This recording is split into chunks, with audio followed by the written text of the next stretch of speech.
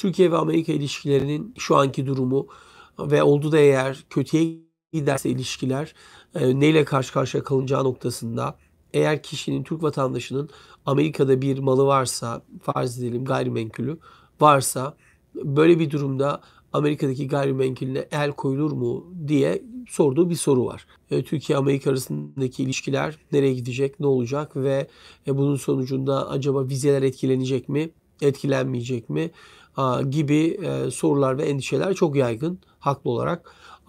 Tabi bu takipçimizin sorduğu soruya şu şekilde cevap vermek lazım.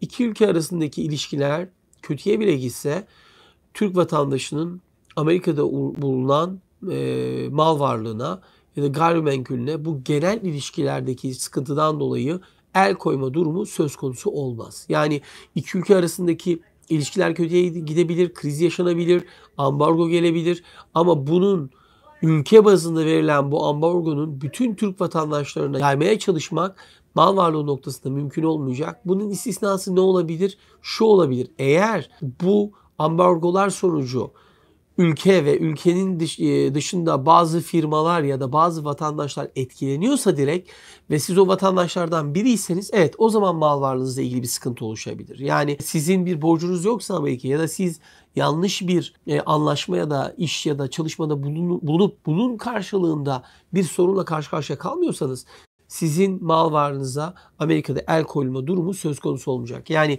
iki ülke arasında genel yaşanan sıkıntılar örnek veriyorum farz edelim bu S-400 sıkıntıları ve onun gibi oluşan iki ülke arasındaki sıkıntılardan sonra ambargo geldiğini düşünelim. Ama bu ambargo genelde diyelim o ülkeyle yapılacak ticareti e, engelliyor olacak başka ülkelerle ya da işte e, akışı ya da e, iletişimi.